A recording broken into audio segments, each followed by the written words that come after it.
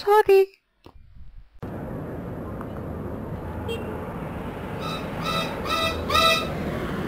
At least he said sorry.